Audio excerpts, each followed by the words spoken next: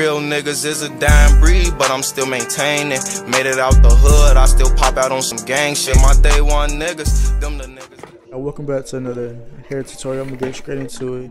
In the box, you're gonna have one right here, two, and afterwards you're gonna have number three is this small little thing.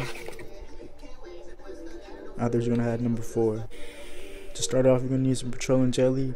Just outline the stuff or outline the parts where you don't want, you know, the dye to dye, you know, around your ears or where it may get in the back of your hairline and the front of your hairline. Start it off, you're gonna need number two, open it up.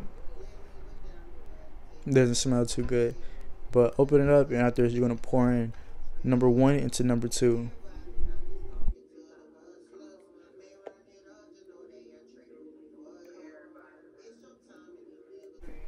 Uh, you may need scissors to cut um, the little plastic piece of the um, serum, which is number three. Once you do that, you're gonna pour it right into the bottle. So it's gonna go one, two, then three. So basically two, one, then three.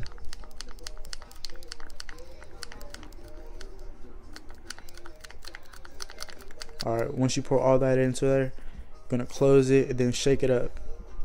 You wanna shake this up about a good, you know, five minutes. Afterwards, you want to make sure everything's getting mixed together, and afterwards, it should be like a burgundy color. Also, look at the instructions and make sure you're following them carefully and doing this right.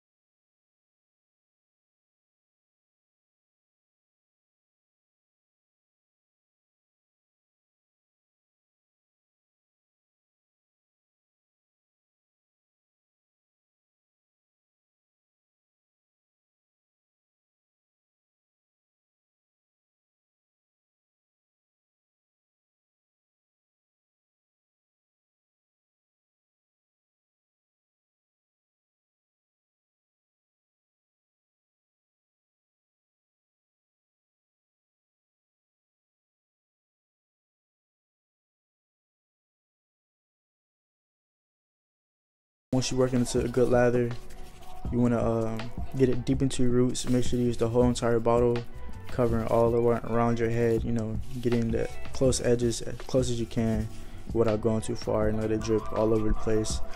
But once you do that, you want to find you a plastic bag or a shower cap, I prefer. And afterwards, you want to let this sit in your hair for about 30 to 25 minutes. Um, I would say no more than 20. Uh, I would say no more than 40 minutes. Um, it, it, depends on uh, the desired want. Uh, the deeper the color you want, the more you're gonna let it sit, um, or the more you're gonna use, especially for longer hair. Um, but the lighter you want, the less color you're gonna use, or the less time you're gonna let it sit in your hair. So um, you wanna let it uh, sit in your hair. Once you do that, you're gonna go wash it out.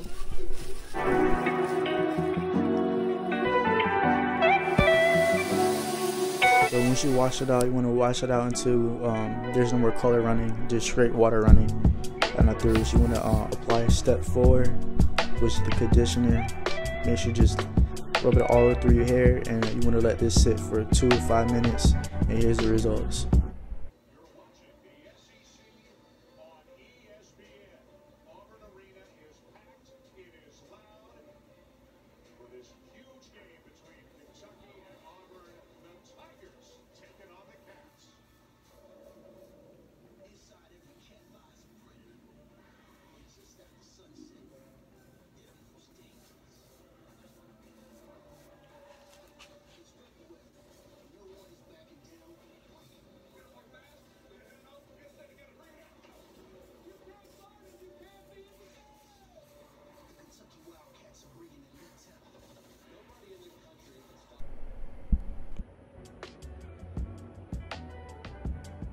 After um, um, I did a washing style with a lot of oil.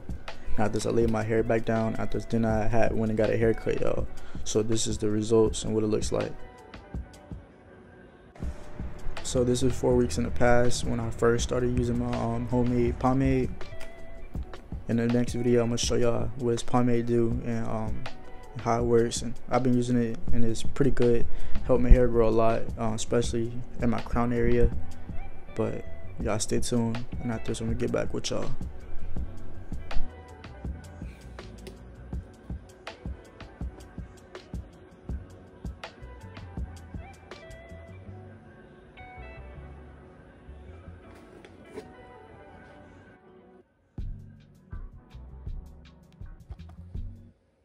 Get caught in the mix, cause this shit is very dangerous. Guess you want some clout, we gon' really make you famous. Skirt, skirt, skirt. I ate, watch me lane switch.